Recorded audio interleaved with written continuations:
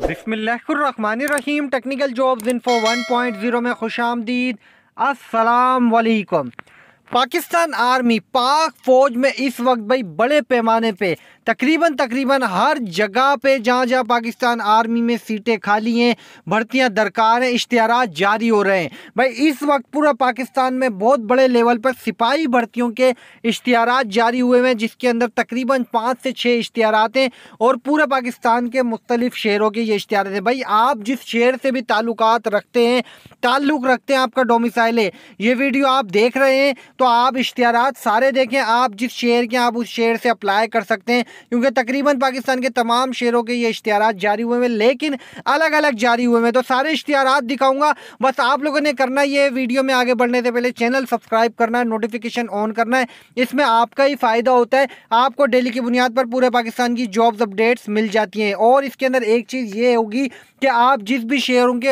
होंगे, आपको शहर के हिसाब से जो है आपको पता लग जाएगा कि इस इश्तहार में हमें इस सेंटर में जाना है और इस तारीख को जाना है। हम चलते हैं इश्तहार की तरफ़ मज़ीद मालूम की तरफ़ और तफसीत की तरफ़।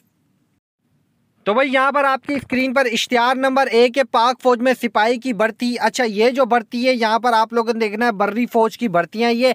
इसके लिए जो है, ये पहला इश्तिहार है। इसके अंदर देखें ओकाड़ा, साहिवाल पाकपतन और अकलियत किसी भी सूबे का हो मतलब पूरे पाकिस्तान के किसी भी सूबे का हो, शादीशुदा या गैर शादीशुदा है मर्द शेरी हैं, जिनकी उम्र की कम से कम सत्रह साल, ज़्यादा से ज़्यादा सत्ताईस साल है और जिन्हों की तालीमी काबिलियत ग्रेजुएट है, उनकी उम्र ज़्यादा से ज़्यादा जो है चौबीस साल तक है तो वो अहले अप्लाई कर सकते हैं। अच्छा इन शेयरों के उकाड़ा, साहिवाल पाकपतन के जो डोमिसाइल होल्डर हैं, इनके लिए जो है तालीमी काबिलियत मेट्रिक है और ये जाएँगे जो उम्मीदवार हैं, Okara army selection and recruitment office में बीस नवंबर से दो दिसंबर दो हज़ार तेईस तक जाकर आप लोग रजिस्ट्रेशन करवा सकते हैं। उसके बाद सेकेंड नंबर पर दूसरा इश्तहार देखें।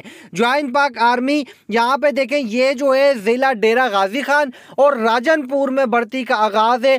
मोर का 6 नवंबर से 17 नवंबर तक हो रहा है। मतलब 6 नवंबर से 17 नवंबर तक जो ख्वाहिशमंद हजरात हैं और ज़िला डेरा गाजी खान और राजनपुर के नौजवान वो जा सकते हैं। अच्छा जो ये लोग, आप लोग लोग जब जाएँगे भाई, तमाम इश्तहार में तो आप लोगों ने अपने असल कागजात के साथ अपने जो है तो कॉपी कॉपियाँ को जो है सेट बनाकर जाना है, ठीक है? ये जाएँगे भाई ज़िला डेरा गाजी खान और राजनपुर वाले army selection and recruitment office Dera Ghazi Khan. उसके बाद यहाँ पे इश्तहार नंबर थ्री है, पाक फौज में बतौर सिपाही जीडी भर्ती। यहाँ पर देखें भाई army selection and recruitment office Kohat. ये कोहाट वालों की भर्ती है, जिसके लिए दस नवंबर से सत्रह नवंबर तक जाएँगे इस भर्ती में ज़िला कुरम, ज़िला औरकजई और ज़िला हंगू के उम्मीदवार शमूलियत कर सकते हैं। ये लोग भाई मिडल मैट्रिक और इंटरमीडिएट या इससे ज़्यादा तालीम वाले जाएँगे और उम्र के सत्रह से तेईस साल और ज़्यादा से ज़्यादा जिनकी उम्र की आज तालीमी काबिलियत ज़्यादा से सत्रह से छब्बीस साल तक वाले भी जा सकते हैं।